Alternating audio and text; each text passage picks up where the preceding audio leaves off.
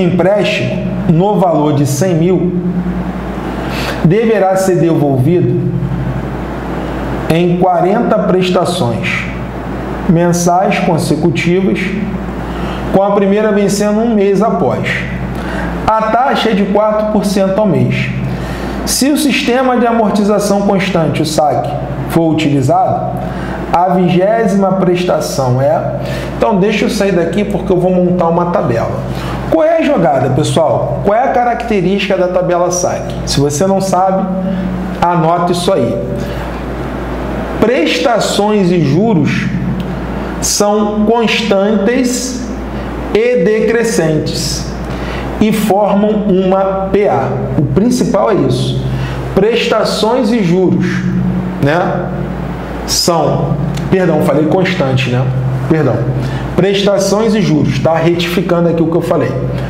Prestações e juros são decrescentes e formam uma PA, tiro constante, tá? Prestações e juros são decrescentes e formam uma PA. Beleza. Gravou isso daí, vamos lá. Vamos construir aqui a nossa tabela. N, colocar aqui o P de prestação. NP,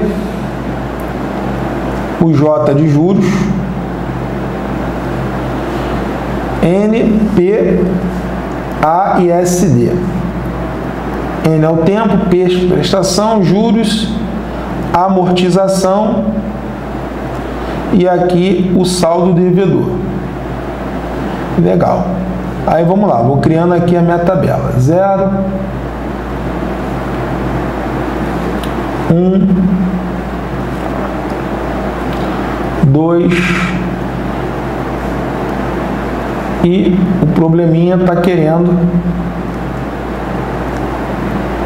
o valor da vigésima prestação. Legal? Vamos lá. Primeira coisa na tabela SAC. Uma característica também muito importante. As amortizações são constantes. Olha o nome: Sistema de Amortização Constante. Então, primeira coisa que a gente vai fazer é encontrar a amortização. O saldo devedor é de 100 mil reais. Ó. Aqui, ó. Então, quanto esse cara deveria ter pago em cada período sem os juros? Quanto ele deveria ter amortizado desse valor? Então, a gente vai pegar 100 mil e vai dividir por 40, tá? Porque foram 40 prestações, tá? Vou até marcar aqui para você. Ele está pedindo a vigésima, só que o empréstimo foi feito em 40 prestações. Aí eu vou cortar aqui, ó, pou, pou, vai ficar 10 mil dividido por 4. 10 mil dividido por 4 vai dar 2.500. Então ele amortizou em cada período R$ 2.500 e assim sucessivamente. Legal? Esse é o valor da amortização. Legal. Agora vai seguir uma receitinha de bolo. Achou a amortização? A gente vai para o cálculo dos juros. Ó. Juros 1. Juros 1. Como é que a gente encontra os juros? Os juros é igual ao saldo devedor anterior multiplicado pela taxa. É o saldo devedor anterior multiplicado pela taxa. Então, juros 1 vai ser 4%, ó, 4% de quanto? Do saldo devedor anterior, que no caso é o valor do empréstimo, 100 mil. 4% de 100 mil. Tudo lindo, tudo lindo. Se eu tenho 1%, com certeza eu tenho 4.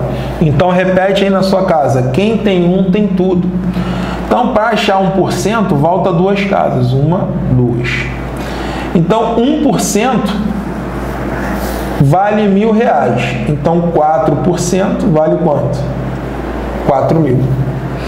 Então, os juros pagos na primeira prestação foi de 4 mil. Aí já está tudo bonitinho ali na tabela. Quem é a prestação? A prestação é os juros mais a amortização. Então, 4 mil mais 2.500 vai dar 6.500. Beleza. Aí vamos lá, vou preencher mais uma linha, é o que eu preciso. Eu preciso no mínimo de duas linhas para matar a questão. Lembra que eu falei que as prestações e os juros são decrescentes e formam uma PA? Então eu preciso de duas linhas. Então eu vou, vou até o segundo período, eu vou até a data 2. Vamos lá, aí começa tudo de novo.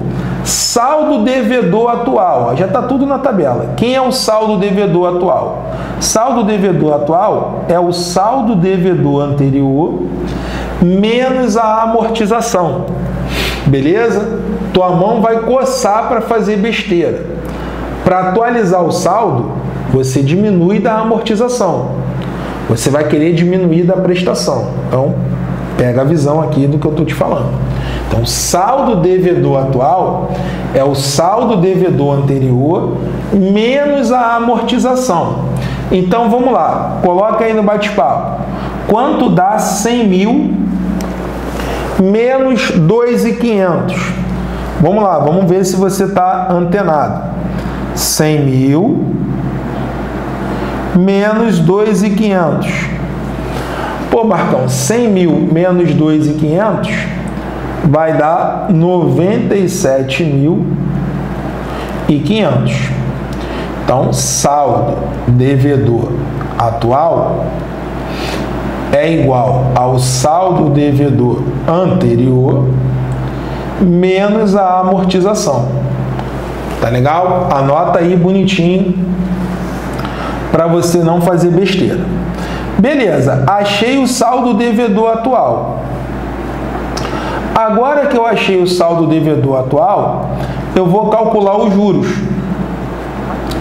Os juros é igual, juros é igual a taxa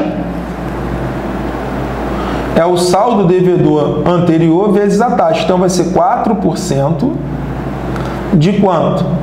De 97.500. Beleza? Aí vamos lá. Acha 1%. Para achar 1%, basta você voltar duas casas. Então 1% é 975.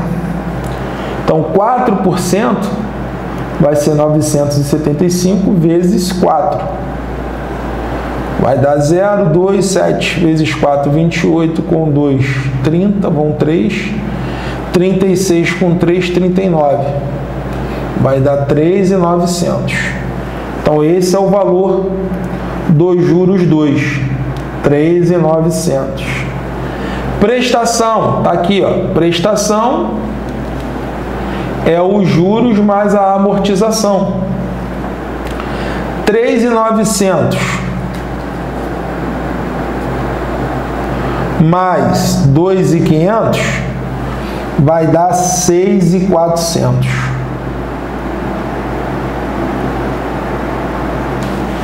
Legal? Agora, pessoal, zero trauma. Vou até molhar aqui a palavra.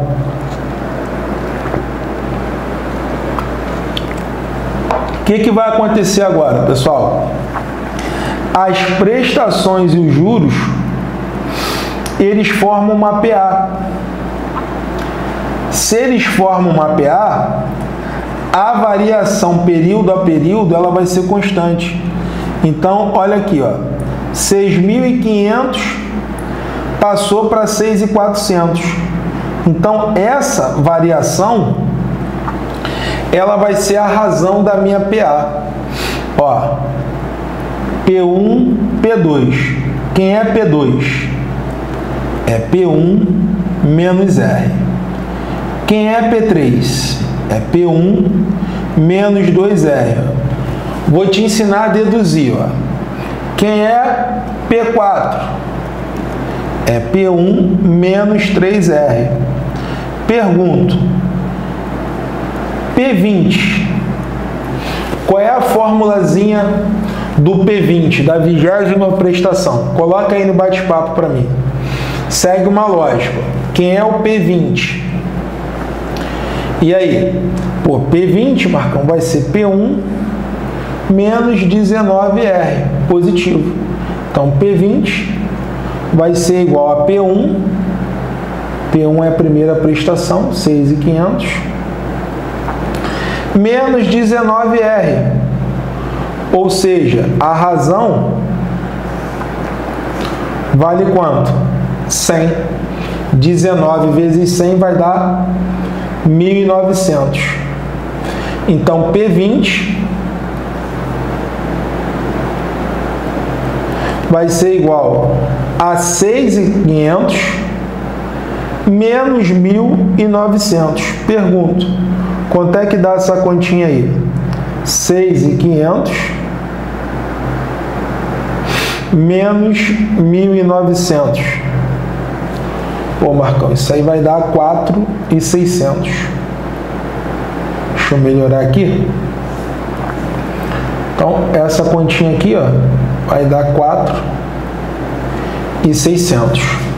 Olhando lá as opções, gabarito, letra D de dado,